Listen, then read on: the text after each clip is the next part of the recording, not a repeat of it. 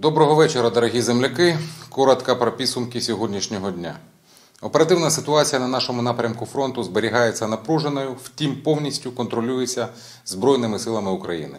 За даними Генерального штабу ЗСУ, ворог обороняється та намагається не допустити просування підрозділів Сил оборони вглиб тимчасово захопленої території. Є і гарні новини про які вже можна розповідати.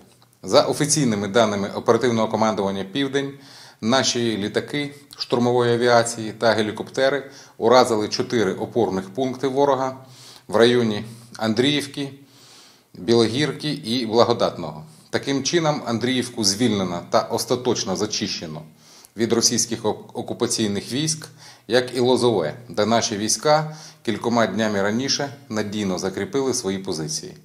Це на нашому напрямку, по лівому березі річки Інгулець, недалеко від Давидового броду.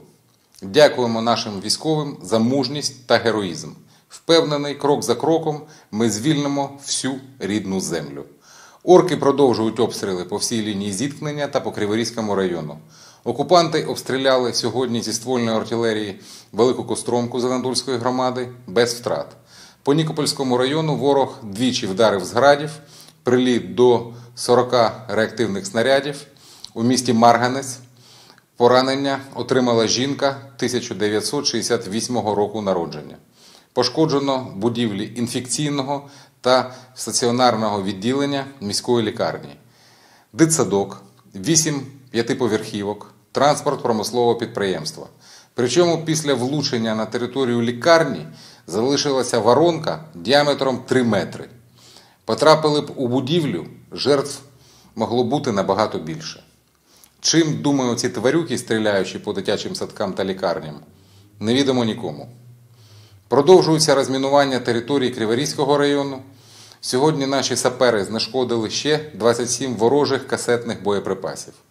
Щодо ситуації в Кривому Розі, то вона повністю контролюється військовою адміністрацією, інфраструктура, комунальні служби та соціальні установи працюють нормально в робочому режимі. Мешканці Інгулецького району продовжують отримувати від міста матеріальну допомогу на відновлення свого житла, яке постраждало внаслідок ворожих обстрілів. На сьогодні гроші переведено вже 256 домогосподарствам на загальну суму майже 500 тисяч гривень. Важливий момент: допомога видається на людину, яка звернулася від домогосподарства, або власнику житла, який там е, зареєстрований, або мешканцю міста, який зареєстрований за цією адресою. Також, кому було потрібно, додатково видали будматеріали з резервного фонду міста. Всього внаслідок ворожого обстрілу е, 9 липня в Інгулецькому районі було пошкоджено 25 житлових будинків, великих житлових будинків, багатоповерхівок, дитячий садок, школу та 4 об'єкти бізнесу. Для інформації мешканців Кривого Рогу та прифронтових територій. З сьогоднішнього дня почав курсувати додатковий потяг Київ-Запоріжжя. Його маршрут проходить через Кривий Ріг та Апостолове, а також е, сусідні міста е, Нікопольського району Нікополь, Марганець та Чортомлик. Якщо плануєте виїзд з цих міст залізницею, Е, подробиці можна дізнатися на е, сайті Укрзалізниці або у довідкових залізничних вокзалів. Зберігаємо спокій, як завжди, витримку, віримо у наші Збройні сили та нашу перемогу.